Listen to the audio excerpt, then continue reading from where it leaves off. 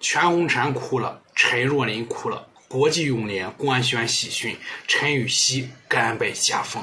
好，大家好，欢迎观看本期视频。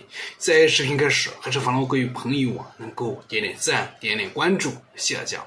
和大家说一下中国跳水队的最新情况。目前，中国跳水队正在参加福冈世锦赛的比赛。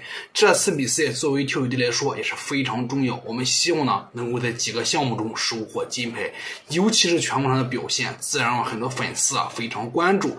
在此前，全红婵是在决赛中与陈芋汐搭档获得了。十米台的冠军确实是可喜可贺，因为纵观整个比赛，陈芋汐、全红婵的表现确实非常完美，他们也是成功的收获了十米跳台的冠军。我们希望呢，在随后的单项比赛中啊，全红婵能够继续的有稳定发挥。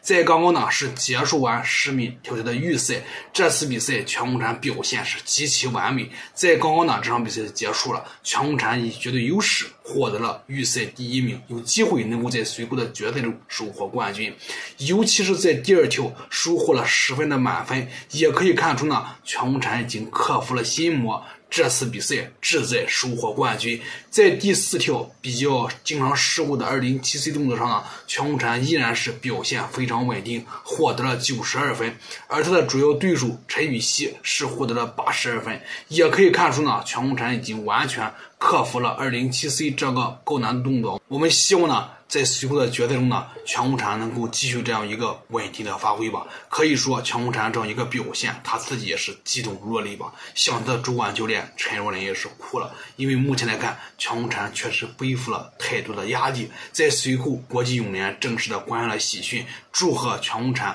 在女子十人跳台中呢。